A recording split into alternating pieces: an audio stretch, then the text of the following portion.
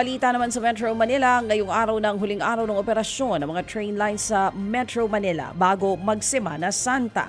Regular na operasyon ng MRT3 ngayong Miyerkules. Pero wala nang operasyon ng MRT simula Monday, Thursday, bukas po yan hanggang sa linggo.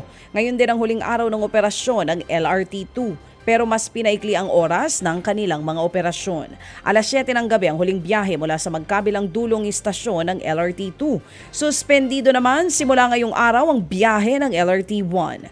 Sa lunes, o April 1, sabay-sabay magbabalik operasyon ang mga train line na yan. Samantala huling araw na rin ngayon ng biyahe para sa PNR bago po ito isarado ng limang taon para yan bigyang daan ang pagtatayo sa North-South Commuter Railway.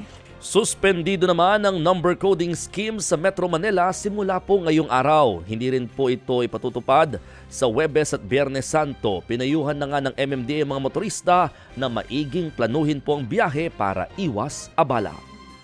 Isandaang pamilya sa barangay Damayang Lagi sa Quezon City ang wala ng mauwian matapos masunog ang kanilang bahay kahapon. Ayon sa barangay, nananatili ngayon ang mga biktima sa evacuation center. Wala namang naiulat na nasawi o sugatan sa insidente. Electrical ang tinitignan bitsa ng sunog. May ginagawa raw kasing electrical wiring sa lugar nang sumiklab ang apoy. Pero sa ngayon, iniimbestigahan pa kung ano nga talaga ang naging sanhi nito. Ted Filon at DJ Chacha. Ngayon, nasa Radyo 5, 92.3 News FM. Monday to Friday, 6 to 10 a.m.